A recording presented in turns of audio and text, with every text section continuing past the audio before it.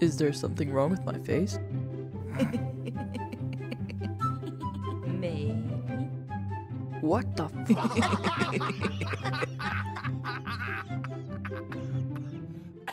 fuck?